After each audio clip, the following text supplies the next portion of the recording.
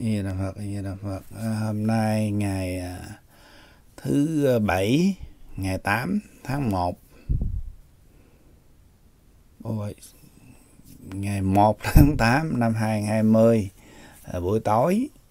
À, bây giờ mấy giờ 10 giờ tối có một chút thì giờ ra ngồi giải thích cái clip nhỏ nhỏ cho quý vị là vấn đề à, à, ba vấn đề nhất là cái ờ, cái hiện tượng người ta gọi là phụng hoàng đỏ. Rồi thấy nhiều người lăn xăng và hỏi rồi comment tùm lum hết. Hiện tượng thứ hai á, thì sẵn đây thì giải thích luôn cái ờ, cái hiện tượng mà có cái bản đồ bằng mây á. Bản đồ bằng mây của bên không thấy không ha? Không thấy gì hết à. bên Việt Nam á hai cái thứ ba là cái covid ở Đà Nẵng. Đúng ra thì không có thích lên clip này nhiều tính chừng già ba từng lên lần cho vui vui vậy. Chứ ờ, lên hoài. Nhưng mà mấy ông cũng uh, khao đao khao đao là tới uh, tới uh, nước tới à. tới giờ thì cũng nói uh, cho nó hợp với thời gian chút. Um, chứ không phải mình à, em lên đây nói gì đâu. Thì ba ba thứ mà nói cái clip này ngắn gọn. Thì có nhiều người bên Việt Nam mấy nhà à, mấy nhà à, sư không phải mấy nhà thầy chim tinh gì đó rồi đón nói tùm lum mà nói điềm này điềm kia lửa không tốt rồi tai họa làm cho cái lòng người xáo trộn. À, nó không phải như vậy. Thứ nhất thì cũng phải thầy chim tinh gia hay nhà tiên tri hay là thầy bói thầy thầy phong thủy hay thầy tăng hay thầy giáo kia không có thầy gì hết. Thì chỉ là người truyền tin đưa tin vui.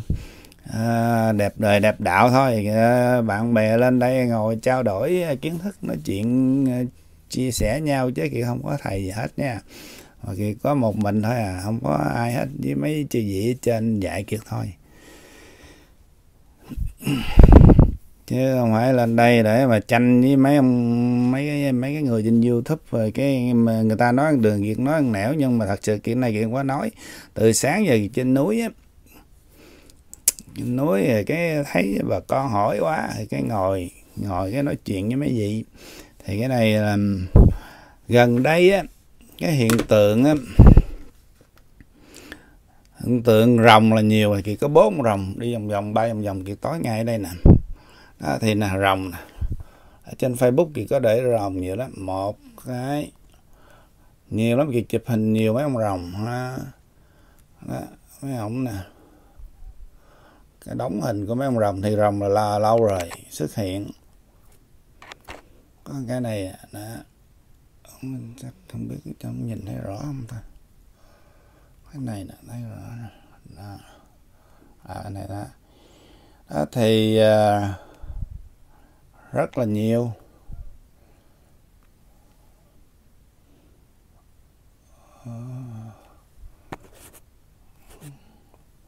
Là tết mấy ông về. Để cho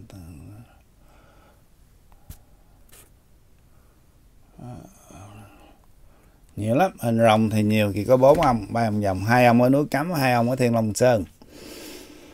Thì trong uh, kinh sấm của miền tây á thì cũng có nói ai có phước thì sẽ à, đến thời điểm này sẽ thấy được uh, phụng rồng trên mây vậy đó. Có mấy câu thơ á chi, uh, mấy người mấy người đạo đạo của đức thầy á người ta hiểu mấy cái này thì những cái gì ngày xưa kinh sấm đức thầy nói đều bây giờ từ từ nó ứng nó có thật hết.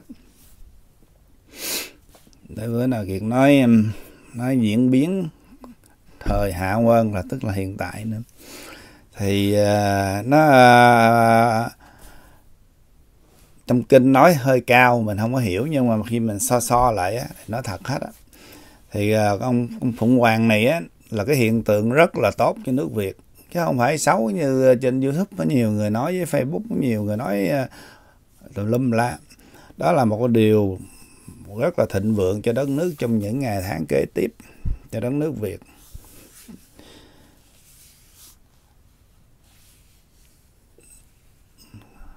Nó phụng hoàng lửa.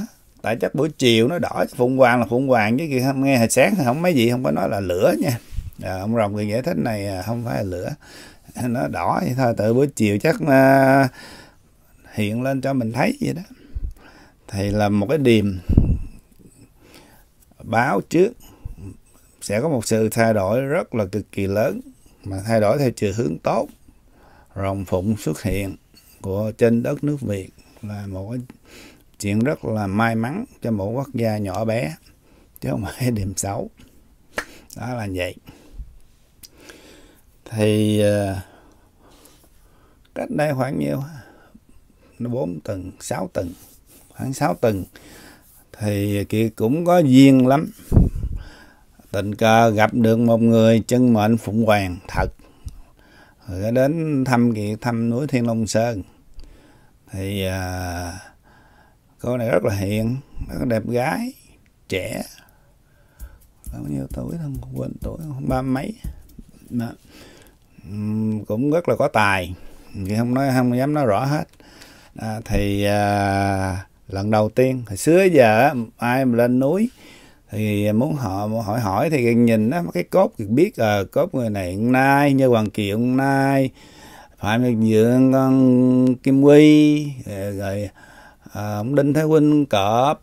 Đại khái mỗi người có một cái cái chân mệnh cái cốt của mình. Lần này lần đầu tiên gặp phụng hoàng như bill gates là chim chỉ ừ. bữa nay gặp công trên núi bà kia có lên. Dạ. Nhưng mà chân mạng của mỗi người như vậy thì phụng quan ở ngoài đời có thật một người thật rất có tài. Thì uh, chắc cô này sau này uh, giúp cho quốc gia nhiều chuyện lớn á. Thì không có dám nói rõ hết nhưng chỉ nói cái tên thôi cậu tên tú. À thì kỳ cũng có duyên gặp gỗ thì đó là phụng hoàng thật, ngoài đời thật. Còn phụng hoàng cái hiện tượng đó cũng thật, của cái thời này. Cho nên bà con đừng có xôn xao, đừng có nghe gì mấy người kia nói. Đó là một cái điểm tốt cực kỳ thịnh vượng cho quốc gia. Rất là tốt. Khi nào mình thấy giống như ờ,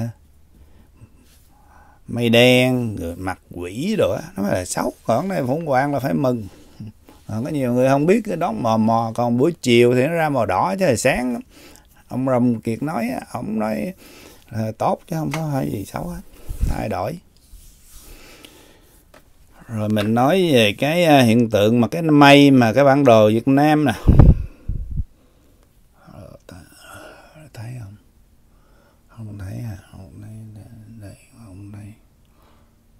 Cái mây mà mây bản đồ Việt Nam á à, thì ở ngoài Hà Nội ở trên ờ, đó đó trên cái ờ, cái chụp cái chuồng gà của Lăng Bác đó đó cái đó đó. À, là cái hiện tượng cái mây nè rồi hai cái lòng mây nè nếu mà ai có cái hình này ở trên Facebook coi xuống coi kỹ đi nó có hai cái luồng hào quang xuống giống như xa lộ vậy đó. Thì uh, sáng á, mấy ông rộng giải thích á, ở đời mình ở cõi hữu hình á mình cũng đang xôn xao về biến động thế giới về covid rồi việc là mời đói ai cũng ai cũng lo. Mấy vị bên cõi vô hình cả nghìn nghìn năm á, gọi là hồn thiên sông núi Việt Nam đó mấy vị cũng như mình thôi. Mấy vị cũng rất là lo lo cho mình. Thì thì những người đó là cũng những người những vị tướng anh hùng à, cũng giống như à, à, mấy ông cách mạng cũng có một quốc gia cũng có thời vua chúa cũng có. Gọi là hồn thiên sông núi. Họ tụ lại thành cái đám mây làm ra cái hình cái um, cái bản đồ Việt Nam vậy đó để cho mình biết là các vị luôn luôn lúc nào cũng bảo hộ nước Việt là song song để mà điều hành nước Việt. Đó đó là hiện tượng của hồn thiên sông núi. Cái đó là sáng là mấy ông rồng giải thích như vậy. Um, Kiệt nhớ rồi ông nói gì nữa ta? Thầy Kiệt cũng thường ở đây cũng thường cũng um, như um, khấn cho mấy hồng thiên trong núi thì cũng uh, có gặp mấy vị. Họ lúc nào cũng bao bọc nước Việt. Còn hai cái cái cái đường hào quang xuống đó đó thì là khi mà nước Việt trở lại thời thịnh vượng á thì uh, sẽ đón tiếp tất cả nhân tài trên thế giới về để mà xây dựng lên nước Việt. Đó là cái luồng hào quan đó là nói vậy đó.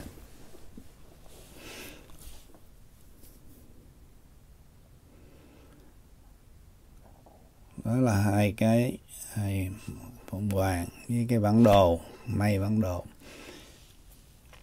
Còn cái nữa là về cái covid 19 ở Đà Nẵng á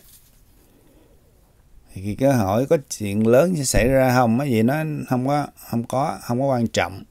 Cái quan trọng á là ở Đà Nẵng xôn xao là mình lấy cớ mình đuổi hết Trung Quốc đi, người Tàu đi.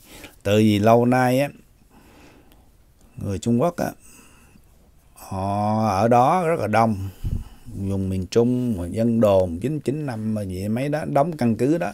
Thật sự nó chỉ là quân đội giả dạng thôi. Rồi mấy vị nói là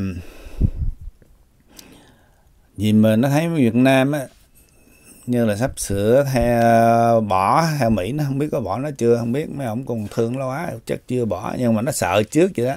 Thì nó mới thả những cái người giống như bị bệnh đi qua để lây để cho nước mình á, bị lo bận rộn với con bệnh này để mình tiếp tục nắm theo đuôi nó. Đó là cái gì nói là mưu mô của Trung Quốc. Nó cũng giống như hồi xưa ờ, trước khi Tết đó, nó thả mấy trăm ngàn người đi khắp hải ngoại để mà lây bệnh cho thế giới vậy đó. Thì giờ nó cũng làm y như kiểu vậy cho Việt Nam. Đó là vậy. Mà mình không có đường bay qua nó làm sao ở lây được? Là nó đi lậu lậu thì đi mấy đường đo ôm như ở tây ninh hà tiên tự bên miên á, đi qua rồi ngoài bắc cũng vậy. Rồi cho mấy ông đo ôm chừng nhiêu. Vài triệu bạc rồi tính ra không tới 5 đô 10 đô nữa là mang một uh, con bệnh truyền nhiễm qua rồi. À, thì tội à, khi này á, thì uh, chắc mấy ông ăn ôm chắc bị thất nghiệp. Cũng tội nghiệp mấy chú đom nhưng mấy ông lãnh có chút tiền mà ông đem một cái tai họa khủng khiếp cho nước việt. Cũng không có nên chở khách bình thường thôi, đừng có chở mấy ông bệnh qua đó là trung cộng nó cố tình. Thì khi mấy vị làm vậy lên như cho mình cái cớ để mình đuổi nó. Nhưng mà mục đích của nó nó giàu cho cái này không phải chính trị. Đạo thì không có nói chính trị, nhưng mà mấy gì cũng nói thì cũng nói những lời vậy luôn. Khi mà chiến tranh sắp nổ ra đó, Trung Quốc với Mỹ Trung Quốc với Đài Loan luôn. Đài Loan sắp tuyên bố độc lập là Trung Quốc nó bập á, bập thì Mỹ cũng tấn công luôn. Thì lúc đó mình ra mình lấy đảo, mình lợi thảnh thơi. Thì lúc đó nó thắng hay thua ngoài kia không biết, nhưng mà nó đổ quân ngược trở vô đẳng tại chỗ đó là tiện lợi nhất cho nó. Cho nên hôm nay á, mình có được covid này á, mình thấy là hơi buồn. Nhưng mà thật sự nó cũng là một cái cảnh giác để mình phòng thủ lại, đuổi hết tàu đi. Tại vì mấy thằng ở miền trung đó, bây giờ nó là mấy thằng nội ứng không à. Chứ nó đâu phải là dân du lịch gì đâu. Cho nên phải coi chừng mấy thằng đó. Chứ đừng để nó tiếp ứng với mấy thằng ngoài biển ờ, đổ bộ, đổ quân vô đó, là nó chiếm nước mình á. Mà nó nó đang, nó chặt ngay khúc giữa là đứt đứt đoạn. Rồi như miền nó dọng lên, ở trên nó dọng xuống là xong Việt Nam tiêu. Đó, cẩn thận cái đó thì thấy thì nó sợ nhưng mà thật sự mấy gì lo hết rồi. Cái con bệnh nó không có bùng phát ờ, lớn nữa. Thì ờ, thấy ờ, mấy đại ca ở bệnh đó cũng uh, quyết tâm lo.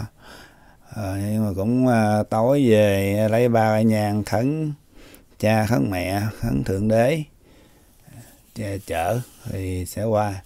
Đó. Chứ không có lớn chuyện đâu chỉ là mớm một cái để cho mình có cớ thôi. Đó là ba chuyện chuyện làm cái clip nhỏ nhỏ giải thích. Lần đầu tiên trong đời những người nào mà sống trong thời đại này mà thấy được phụng hoàng, thấy rồng, rồi ờ, trong cái diễn biến này nè, đừng lo, nó mình còn sống là một cái phước của mình để mà sắp sửa qua một cái thời kỳ rất là thịnh vượng cho nước Việt. Bây giờ thì không có gì hết nói thì cũng khó ai tin lắm mà Kiệt cũng nói này 5 năm rồi. Những năm năm trước á, thì thường nói những người xung quanh á, nước Tàu chia năm sẽ bảy. À, rồi lúc đó Mỹ nó còn bên Trung Đông dữ lắm. Thì nói sau này á, Trung Đông sẽ nổ cái chiến tranh trước. Rồi sau đó rồi tới uh, qua Á, Á Châu đó, thì rút qua. Cứ coi theo cái clip mà tháng 2 mà Lân phỏng vấn đó, cũng gần vậy đó. Mà lúc chuyện rồi cái bệnh này cũng có nói trước. Thì sau khi à, để việc nói diễn biến những ngày kế tiếp luôn nha. Sau khi Đài Loan á mình nói Trung Quốc đánh Đài Loan đi. Khi Trung Quốc đánh Đài Loan thì Đài Loan thành một nước riêng rồi đánh nó tức nó đánh á. Thì lúc đó là Mỹ sẽ tấn công vô thẳng vô lục địa luôn. Thì tấn công vô á, thì lúc đó Liên Hợp Quốc đứng ra xử xử cái này cái cơ này là cỡ à, 6 năm rồi. Họ không biết hôm nay nó có trúng không. Mà dầu sao nếu có trúng trúng tám chục trăm nha quý vị. Không trúng hết cũng đừng dũa mình nha. Chứ còn à, cái à, clip phố bôi xa thì cũng nói là bây giờ nó cũng xảy ra gần giống hết rồi đó còn ở vùng này vẫn là lác đác chứ không phải nước mỹ lác đác. Thì nó lộn chỗ đó thôi chỗ ngoài cả mấy khác là, là gọi là coi đi sắp sửa diễn. Thì lúc đó liên hợp quốc sẽ can. Nhưng mà thằng pháp á, nó sẽ đứng giữa làm làm giống như trọng tài vậy đó. Hey, hey. Ờ, pháp với nga. Ờ, kêu trung quốc rút trong vòng 6 tháng rút khỏi uh, trả lời hoàng sa trường sa khỏi biển đông thì nó còn tiếc. Tại lâu nay à, đâu có mất chì lẫn chài đâu có chịu. Nó còn tiếc quá. Khi tiếc quá là chần chừ á. Thì ở trên kia cái ông ấn độ á ông thừa nước được ông quýnh ông lấy lại mấy cái kia luôn. Rồi từ đó đó mấy gì nói là nước tàu á, tất cả các tỉnh nó đứng lên đòi tự trị. Thì ờ, bắt đầu từ đó nước tàu tan rã hồi xưa bên tàu hay có cái màn tử hình ta đó. Cuột cái đầu cột cái tay cột cái hai dây chân cái để năm con ngựa năm bên. Nó quýnh cái nằm ngựa chạy nằm cái người ta đứt à, năm mảnh rồi là ngủ ngủ mã phanh thay à, ờ, cho nên nó cái gì nó cũng là nhân quả gậy lưng ông đập lưng ông cái dịch vũ hán này nè hồi đó nói mà nó mà truyền đi à, cảm tử đi để truyền á sẽ bị tạ thừa à, là một trong năm thứ mà lúc cái clip phố xa kiện nói là để mà tách trung quốc ra. Thì giờ nè gần đủ năm món rồi. Hồng kông. À, cái gì? Lũ lụt bây giờ đang lũ lụt bệnh rồi à, ở điếm đi năm đúng đúng năm món á. À, mấy gì nói đưa, đưa khi mà đủ năm món á là là là, là cơ ứng là bắt đầu còn cái đập á nó có bể không bể vậy nó cũng như bể vậy. Tại cái máy trong đó đó là nó bị hư. Rồi cái máy mà vận hành của cái cái đập uh, thủy điện đó đó. Mục đích đó để cho nhân loại biết là có Phật có trời có nhân quả. Chứ không có muốn à, nói làm sao? Nói nói xui nói ngược. Làm gì đó là làm. À, thuận thiên ý uh, chứ không có đâu có ai ngờ là trong 4 năm nay quá trời mọi thứ thay đổi. Trump sẽ thắng cử lại tổng thống ngàn phần trăm. Mà từ lúc việc nói trước lâu rồi lúc cách đây cả năm ổng qua biết bao nhiêu kỳ thập tử nhất sinh không? Rồi hạch tội ổng rồi đủ thứ tội rồi kinh tế lên, rồi nạn con dịch xuống, bây giờ tin cái tế tiêu. Rồi lãng nhân chủ qua làm quá trời, nhưng mà mấy vị nói, con đừng lo, cuối cùng ờ, trăm cũng phải thắng.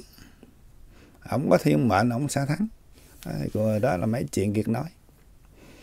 Nhưng mà tóm lại kia không phải nhà tiên tri nữa, quý vị. Truyền tin, thông tin. Bây giờ có nhiều người đặt cho mình tên mới nữa. Sứ ngôn viên của thiên đình. vậy là bà không dám nhận cái đó. Đưa tin vui thôi. Tại vì giờ chót nè à, kiểu như người á, lên cái tiếng cuối cùng để sau này nhân loại á, nhất là những người à, lì lợm cứng đầu không biết tu không biết sửa lỗi. Và đạo phật gọi là vô minh đó. Còn phật tử gọi là tu u mê bi trí dũng mà chỉ có bi không mà không có trí không tin phật di lạc ra đời này nọ đó thì mai mốt á, bị nạn hay là không đủ phước á, đừng có trách trời hay là trách phật. Đừng có trách. Kiệt là người cuối cùng kiệt nói thật lời thật nói thật. Những gì trải qua kinh nghiệm mới dám lên đây nói không phải khơi khơi mà nói chơi này đâu. Thì không có nói chơi đâu nói thiệt không á. Thì à, những phật tử á, lâu nay tu rất là vững. Thì giờ đừng có tin mấy cái ờ, thần thông thầy này thầy nọ. Ờ, dạ, cứ sùng bái mấy ông thầy mình quá cái nói thầy mình là phật thích ca. Nói thầy mình là phật di lạc đó mấy cái đó là sai phạm thượng. Khác hết. Rồi giờ có nhiều người dụ kiệt nó nói ờ, xưng tôi là phật di lạc là sư phụ kiệt nhất là mấy mấy người tạo vậy phe bên mà tập cái gì mà bên đó cái gì ta? Bên ông lý mà muốn nói tên cho này. Đó, nhiều người lắm. Tức là cái mấy cái đó gọi là vô minh. Tốt thì cũng có tốt nhưng mà đừng có quá dị đoan rồi quá sức sùng bái thầy mình hay là một cái hệ thống giống như tiên truyền vậy đó. Sau này vàng thao lẫn lộn đổ đổ vô lửa là cháy ra hết. Thì đừng có trách trời Phật không có công bằng. Và mấy cái giới à, chức sắc cũng vậy. Nó cũng nói sau này à, dân nó lôi đầu ra thì nó mới hôm nay thì nói vậy đó. Đừng có làm nhiều chuyện không đúng rồi sau này khó ai cứu. Mà Phật ở trên á, tất cả các vị thường xuyên dạy là đất nước Việt Nam á, cái diễn biến á, khi phượng hoàng xuất hiện đó, rồng xuất hiện rồi phượng hoàng xuất hiện rồi chỉ còn thiếu phật di lạc xuất hiện thôi. Với ba tiếng sấm nổ sẽ nở ba sẽ có ba tiếng sấm. Thì từ đó mọi chuyện các gì sẽ hiểu rõ hết. Sẽ thay đổi một cách nhẹ nhàng không có giọt máu không có trả thù. Cho nên không có có nhiều người cứ nghĩ là giống như à mấy ờ, mấy ờ, bên quốc gia trở lại không có chuyện đó. Mấy ông đó là quá khứ rồi. Um, chỉ là dân thôi. Dân sau này sẽ đứng lên là tự quyết định vận mệnh của quốc gia. Chứ không có ông nào ở hải ngoại mà mà Việt Nam Cộng Hòa Cộng giết gì mấy cái đó ta không có cần mấy cái đó. Mấy gì mấy người đó mấy gì đó là à, có thể là cố vấn hay là gì thôi chứ không có không có không có một cái chế độ Việt Nam Cộng Hòa trở lại sẽ không có cái vụ đó.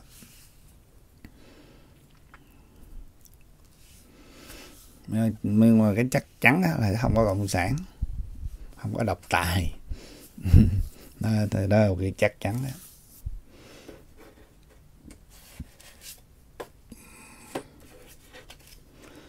Ok thì uh, cái clip này chỉ giải thích phụng hoàng. Phụng hoàng hiện lên ở trên sài gòn đó là một điểm rất là tốt cho nước việt. Bệnh nó phải ăn mừng. Còn á, mới có hai ba bệnh chết so thế giới của ta quá trời luôn á mà náo động. Mà cái này á, là do Trung Quốc á, nó cho cảm tử quân qua để nó hại mình á cẩn thận rồi mấy chú đó ôm lắm rồi mới đừng có chở mấy thằng Trung Quốc nữa. Nó bị bệnh không á chở nó về lây gia đình nữa. Ai như là Phật cái clip ngắn ngắn. Đây à, còn cái mà hình bản đồ nước Việt á đó là hùng thiên sông núi nước Việt á. Mấy gì hiện lên đó để cho mình biết là mấy gì bảo bọc nước Việt. Còn cái cái luồng hào quang mà đi song song xuống á đó là à, sẽ đón tiếp những nhân tài hải ngoại về. Đó là lời của các vị um, giải thích hồi sáng vậy đó. Hôm nay à, tối nay ờ, lên đây clip được 24 25 phút cũng đủ rồi. À, vậy mong các bạn hiểu.